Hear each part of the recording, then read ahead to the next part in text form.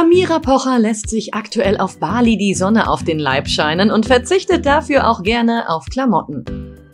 In ihrer Instagram-Story zeigt sie ihren Followern, wie sie die indonesische Insel erkundet und kurzerhand auf einer Schaukel Platz nimmt. Dabei trägt die Moderatorin einen schlichten grünen Bikini und offenbart ihren Hammer-Body. Von ihren beiden Schwangerschaften ist hier nichts mehr zu sehen. Der gut aussehende Mann, der Amira bei ihrer Erkundung begleitet, ist übrigens ihr Bruder Ibrahim, genannt Hima.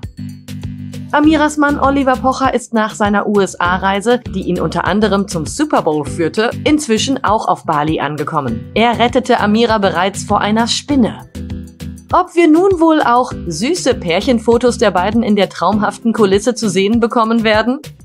Eines ist sicher, der Spaß wird bei diesem Trip nicht zu kurz kommen und Amira wird dabei stets fantastisch aussehen.